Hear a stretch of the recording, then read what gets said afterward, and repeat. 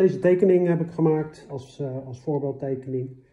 Um, het is met houtskool, pastelkrijt en wit acrylverf op, op papier, zwaar papier, acrylpapier.